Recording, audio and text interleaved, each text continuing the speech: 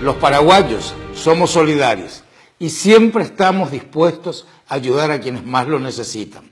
Pero no podemos postergar el bien de todos los paraguayos, privilegiando unos cuantos, ni usar la necesidad de la gente como instrumento proselitista. La aprobación por parte de los senadores y diputados de la ley de condonación de deudas a los campesinos es de público conocimiento.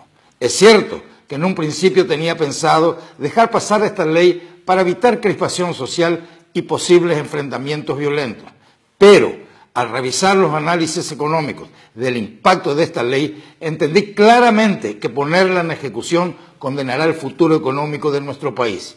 Si fuese necesario, prefiero condenar mi futuro político antes que condenar al Paraguay. Con falso populismo, algunos compararon esta ley con el programa Tecoporá y adultos mayores. Pero para que tengan una idea, el costo total de estos dos programas es de 163 millones de dólares. El costo de esta ley puede pasar los 3.200 millones de dólares, aproximadamente 25% del presupuesto general de la nación. A solo cinco meses de las primeras elecciones, lo más fácil sería hacer lo mismo que ellos y dejar pasar esta ley de condonación. Pero mi compromiso es con el bienestar de todos los paraguayos y eso está por encima de todo. Desde el acuerdo del año pasado, con el cual cumplimos al pie de la letra, estamos haciendo un gran esfuerzo por brindar soluciones de fondo para los pequeños productores, con propuestas concretas para su rehabilitación financiera y productiva.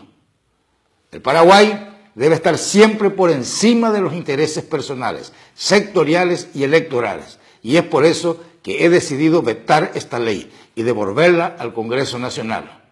Quiero que sepan que el Congreso podría levantar mi veto si logran 23 votos en senadores y 41 votos en diputados, en cuyo caso, a pesar de mi veto, esta ley quedaría promulgada.